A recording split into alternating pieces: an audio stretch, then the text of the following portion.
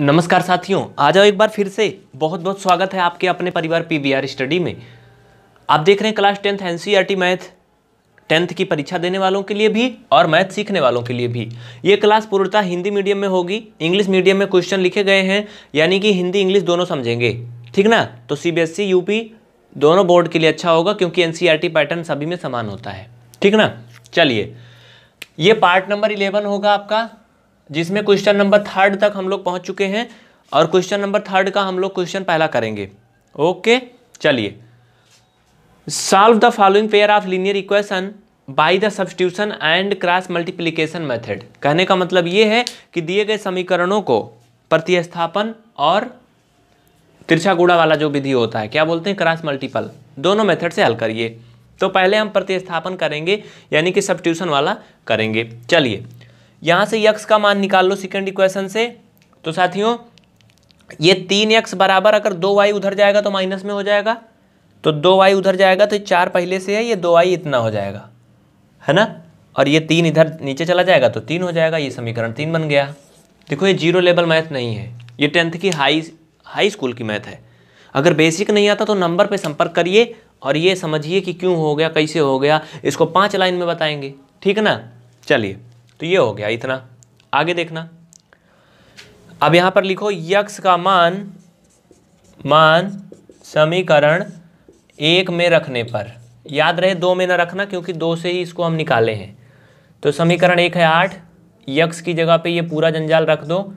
चार माइनस दो वाई बटा तीन, और धन ये पाँच वाई, और इक्वल क्या है? नौ।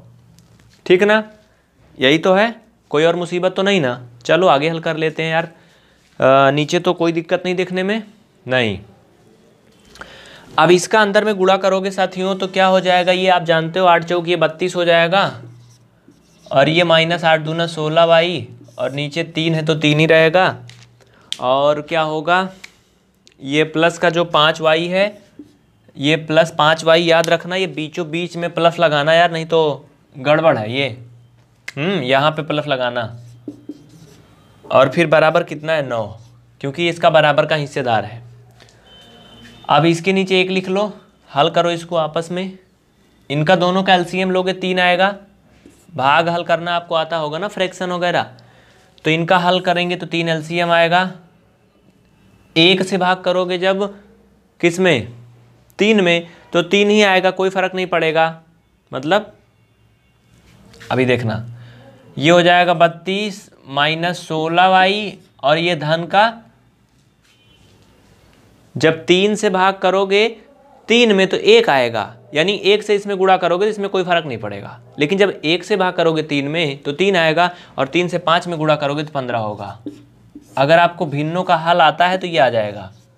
अगर भिन्न नहीं हल कर पाते हो तो नहीं आएगा।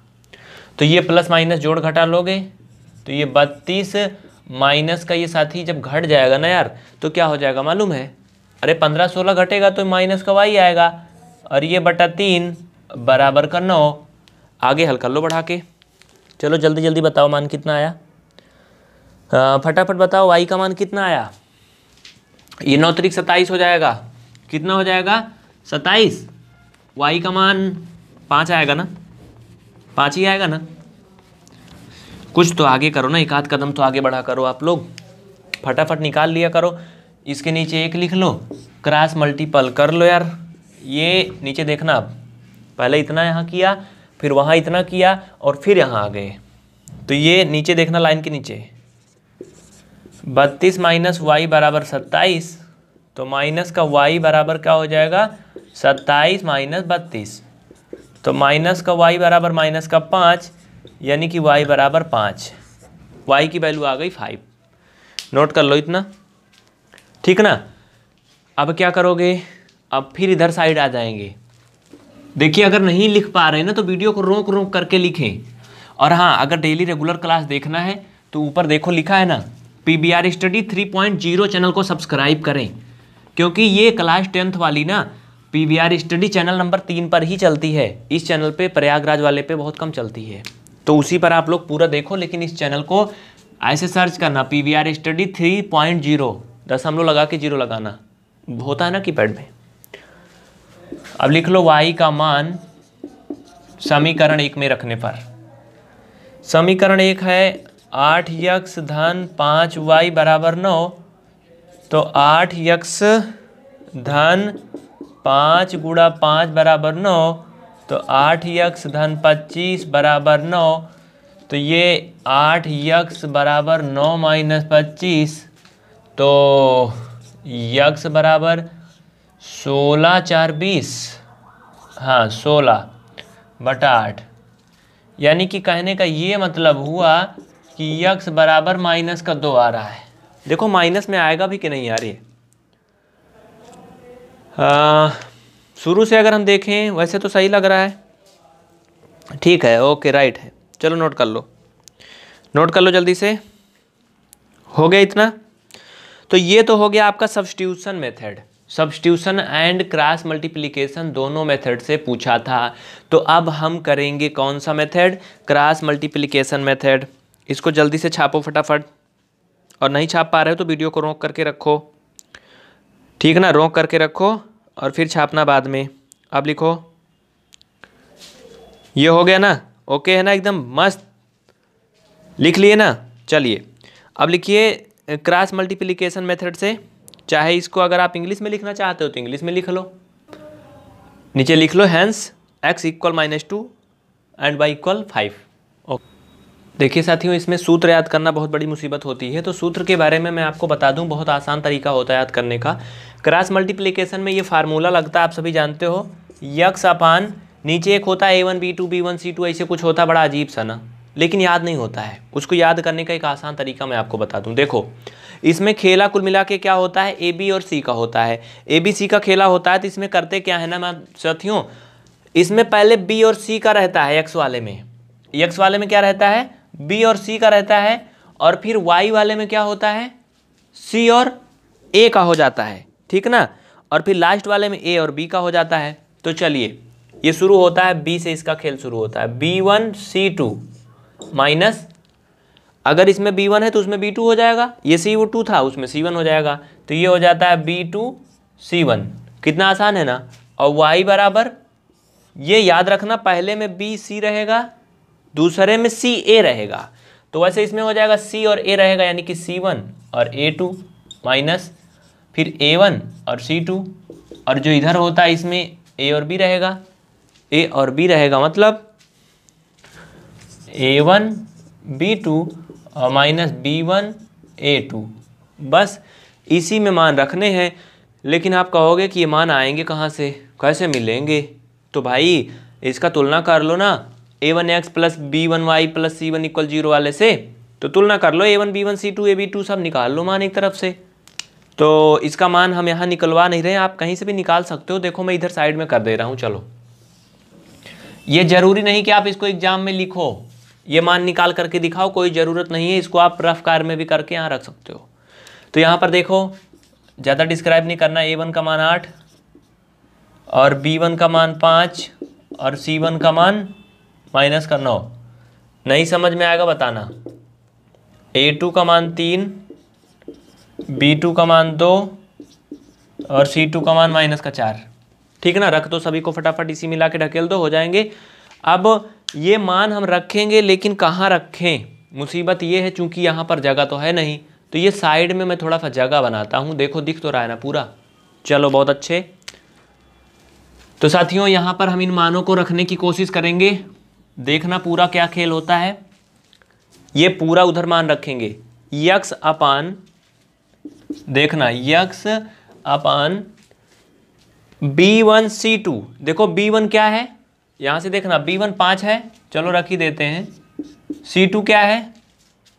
भाई मान रखने में तो टाइम लगेगा। सी टू क्या है। ये देखो माइनस का चार है। ये हो गया इतना। ये अभी इतने का मान हुआ बी वन सी टू का। माइनस का चिन्ह लगाओ बीच में। देखो, समझाने में टाइम लगेगा। B two C one B two का मान देखो, दो है वहाँ, और सी वन का मान क्या है? माइनस नौ है। यानी कि दो गुड़ा माइनस का नौ। ये अभी एक मुसीबत दूर हुई। अभी एक और भी है। वाई वाले में आ जाओ। C one A two C one का मान देखो माइनस नौ है। ए टू का मान तीन है। तो ये हो जाएगा y upon C one A two C one minus का नौ और ए टू तीन, और फिर बीच में माइनस था minus A one C two तो ए वन सी टू रख दो, क्या हो जाएगा? ए वन सी टू या फिर इसे सी टू ए वन कर सकते हो मतलब वही हुआ कुल मिला करके ठीक ना? कोई उसमें इधर उधर नहीं करना है। तो ए वन का मान क्या है? आठ है ना? सी टू का मान क्या है? माइनस का चार है। तो आठ गुड़ा माइनस का चार। अगर इसको माइनस का चार गुड़ा आठ करोगे, तब भी वही आएगा। और बराबर देखो तो जगह नहीं बच रही यार उधर साइड में। ये तो उधर जगह नहीं बच रही, बड़ा लोचा हो जा रहा है। देखिए साथियों, एक बात बहुत ध्यान से समझना। वो ये है कि जो one upon A one B two और बी वन ए टू था, इसका मान रखने के लिए उधर साइड में इधर जगह नहीं, बोर्ड खत्म हो जा रहा ना। तो इसलिए हम इसको आगे लिख दे रहे नीचे। बाकी आपके कापी में जगह होगी तो पहले इसको लिखना, फिर बराबर इसको लिखना, फिर ये नीचे वाला इसी के बराबर में लिखना, आगे लिखना, नीचे मत लिखना, ठीक ना? बराबर में लिखना। अब क्या करेंगे? हल करेंगे हम उसको इधर साइड में ला करके। ध्यान से देखना। आपके मन में बहुत सारे ख्याल आ रहे होंगे कि ये इतना बड़ा बड़ा बन जा रहा है, ये कैसे होगा? लेकिन अगर आप टेंथ में अच्छे से पढ़े हो, मेहनत किए हो तो बहुत आसान है यार ये। और हाँ बेसिक कॉन्सेप्ट आप सीखिए, चाहे जैसे भी सीखिए क्योंकि बेसिक कॉन्सेप्ट अगर नहीं आएगा तो फिर इसमें मुश्किल आएगी। हम्म? चलो, हल करेंगे। गुणा करोगे तो बीस हो जाएगा तो ये हो जाएगा यक्स अपान माइनस का बीस, और फिर माइनस का चिन्ह है, और दो नौ अठारह माइनस में आएगा, माइनस माइनस प्लस का अठारह हो जाएगा। ओके, ठीक। अगला, नौ का तीन में गुणा करोगे, माइनस सत्ताईस हो जाएगा, आठ का चार में करोगे बत्तीस, और वो प्लस हो जाएगा। यानी माइनस का सत्ताईस प्लस बत्तीस। देखो यहाँ जगह बन जा रही क्योंकि छोटा हो जा रहा है। इसको करोगे आठ दूना सोलह और पाँच तियाँ पंद्रह। तो ये सोलह माइनस पंद्रह। है ना कितना आसान? निकाल लो, आगे हल कर लो एक लाइन और। यहाँ एरो लगा लो। ये हो जाएगा यक्स अपान माइनस का टू इक्वल ये वाई अपान फाइव और वन अपान वन। यहाँ से यक्स और वाई के मान निकालने हैं, करोगे क्या? वही करेंगे जो अभी तक करते आए हैं। एक बार इसको सी के बराबर कर लो ए वाले को, और एक बार ए को बी के बराबर कर लो। तो चलिए, कर लेते हैं, इसमें क्या जाता है हमारा? है ना, आंसर ही तो लाना है। तो एक बार पहले वाला तीसरे के बराबर कर लो, और एक बार पहला वाला दूसरे के बराबर कर लो। चलिए, ओके। तो यक्स अपान माइनस का two equal one upon one. X का मान माइनस दो आ गया। ठीक? एक बार इन दोनों को बराबर कर लो आपस में, फिर क्या होंगे? लेकिन मज़ा नहीं आएगा, इस तरह से नहीं आएगा। आप ये बराबर करोगे। ठीक ना? वाई बटा पाँच बराबर वन अपान वन। समझ गए ना? तीनों आपस में बराबर हैं तो आप इसको, इसके बराबर कर सकते हो, इसको इसके बराबर कर सकते हो। इसको इसके बराबर भी कर सकते हो, लेकिन इस तरह मान नहीं आएगा। तो यहाँ से वाई का मान क्या आएगा? पाँच। इस तरह से आपने देखा यक्स का मान माइनस दो आया था, सब्सटीट्यूशन मेथड में भी आया, क्रॉस मल्टीप्लिकेशन मेथड में भी वही आया। है ना? तो आप पूरा समझ गए होंगे साथियों। अगर कोई कन्फ्यूज़न हुई तो निसंकोच बताना। और हाँ अगर आप इस क्लास को फेसबुक पर देख रहे हैं तो पी बी आर स्टडी को यूट्यूब पे ज़रूर सब्सक्राइब करें। चैनल नंबर तीन पर आपकी टेंथ की एन मैथ चलती है। यूट्यूब में सर्च करना है P V R study three point zero अगर आप इसे यूट्यूब पे देख रहे हैं तो फेसबुक पर P V R study search करके पेज को लाइक करना, जिससे आपको सारी क्लासें मिल सकें और प्ले स्टोर पर बिल्कुल फ्री में पी वी आर स्टडी का ऐप्स उपलब्ध है। उसे इंस्टॉल करना और देखते रहना। जय हिंद। चलते चलते एक विनम्र निवेदन होगा आप सभी से कि इस क्लास को अपने कम से कम पाँच मित्रों में ज़रूर शेयर करना साथियों। पाँच में नहीं, दो में ज़रूर करना। कुछ ना कुछ करना अगर करोगे ना तो वादा रहा कि सारी क्लास यूट्यूब में बिल्कुल फ्री मिलेंगी एक तरफ़ से। शुक्रिया।